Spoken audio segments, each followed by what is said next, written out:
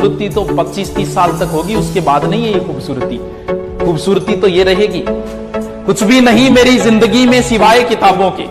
जब तुम आओगे, मुझे बदला हुआ ही पाओगे। कुछ भी नहीं मेरी ज़िंदगी में सिवाय किताबों के। तुम्हारी ख्वाहिश थी मेरा कमरा सजाने की, पर मेरे कमरे में सिवाय किताबों के कुछ भी नहीं। अब तो बस चारों ओर किताबें हों। वीडियो को लाइक करें, सब्सक्राइब करें और ज़्यादा से ज़्यादा वीडियो को शेयर करें। जय हिंद, मिलते हैं नेक्स्ट वीडियो